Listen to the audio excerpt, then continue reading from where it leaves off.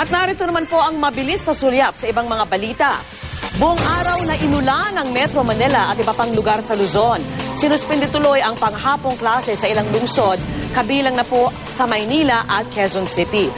Sa Baco Oriental Mindoro, agad bumaha kaya napilitang magbangka ang ilang residente. Kansilado rin ang maraming domestic flight at meron ding na-divert sa airport sa Clark, Pampanga.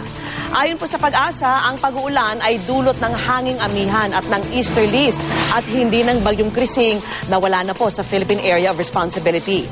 Ngayong weekend, asahan pa rin ang pag-ulan sa Luzon at iba pang bahagi ng bansa. Kabilang naman sa mga napuruhan ng bagyong krising ang talaingon sa Davao del Norte kung saan halos 30 bahay ang napinsala. Umabot na sa apat ang naitalang patay dahil sa bagyong krising, mahigit 40,000 pamilya ang apektado.